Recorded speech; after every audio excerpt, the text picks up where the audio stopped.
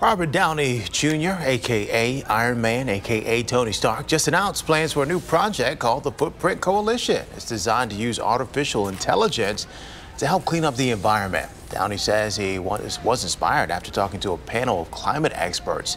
A coalition will launch in April of 2020.